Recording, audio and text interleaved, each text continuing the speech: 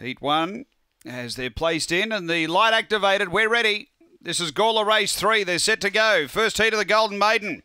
Favourite off the red. Victor Buzz. Away. Victor Buzz step the right, getting some room to move. Good speed. Ninkazi out deep's going to cross. So Ninkazi gets over, railing hard. Victor Buzz around that bend. It's outside. Big fellow. They sort of half tangled. Uh, then Allegra Imperial Club cop the check. Next Queen Mears from Barbados Express and Blaze Maker. But down the back, the leader Ninkazi led by two, but it's away from the rail. And Victor Buzz sailing through along the inside. Uh, then came Allegra on the turn. Victor Buzz going through from Ninkazi. Late Barbados. Barbados Express. Barbados Express too good. Either Victor Buzz or Allegra second, and uh, in that uh, photo, then we had behind those runners next. As they uh, go into the pen, uh, we had uh, behind those Ninkazi and uh, Allegra, big fellow. The time here 31.41. 4 1 3 and 7 runs fourth.